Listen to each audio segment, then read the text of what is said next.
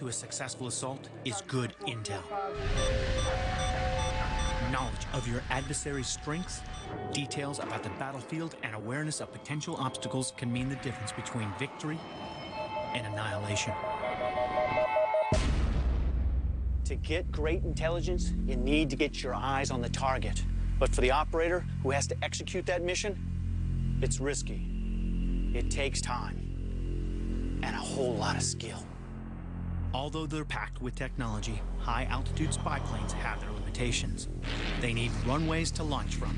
Without runways, they cannot get into the air and provide the critical tactical information that battlefield commanders want. When you are in combat, you need it right there and then, and you can't wait to call something in for you. And sending soldiers on scouting missions is life-threatening. What's needed is a new kind of future weapon, one that minimizes the risk for the operator in the field.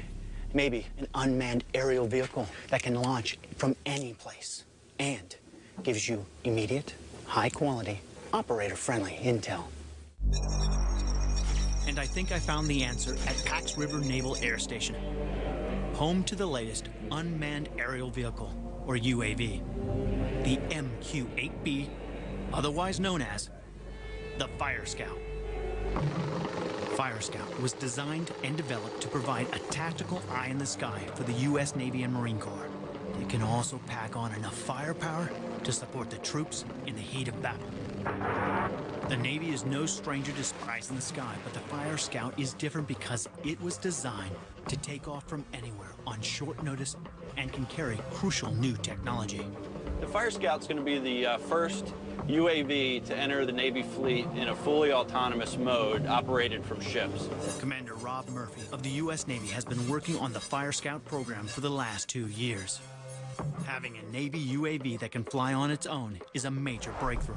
When I say autonomous, it isn't autonomous in the uh, sense uh, that people like to believe it is, like a remote-controlled helicopter. The mission plan is loaded into the helicopter before it takes off, and uh, with one keystroke, it'll take off and uh, complete the entire mission plan before returning to base. The Fire Scout is smart and doesn't need to be flown from the ground by a joystick. No longer is a pilot required with a large ground support team. Once it's programmed with its mission, just push the button and this UAV flies completely by itself.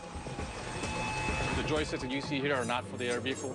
They are for the mission payload, which is attached to the air vehicle. Basically, the keyboard and this mouse and these two screens are how we operate the vehicle. Savio, roger. Uh, EC verif and FE verify ready for launch.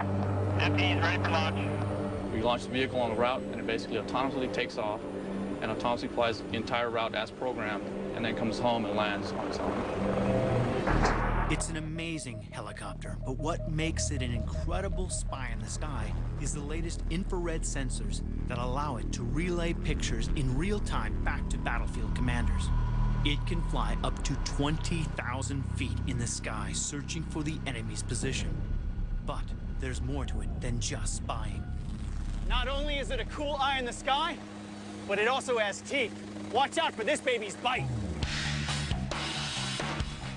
The Fire Scout can be fitted with two four-pack rocket launchers, firing eight laser-guided rockets in a lethal barrage from the sky. Okay, Navio, be advised, you're clear to arm and fire. You're clear to arm and fire. Clear to arm fire.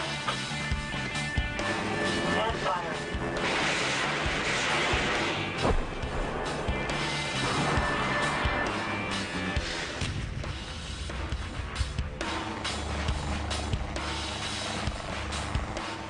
Fire Scout can give you a bird's eye view of the battlefield, can take off and land on a dime, can fire rockets from as high as 20,000 feet. What's all that give you? The ability to provide close air support. And there's no need to risk a pilot's life. In military terms, the Fire Scout performs the three most demanding missions. Dull, dirty, and dangerous. A lot of reconnaissance missions are hour after hour after hour just waiting for some small change, and that's probably the, the dull.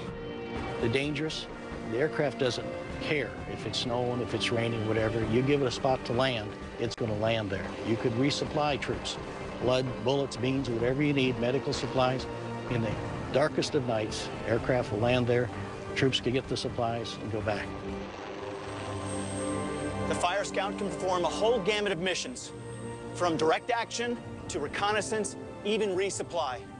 It's not just a smart weapon, it's a weapon that's going to save lives.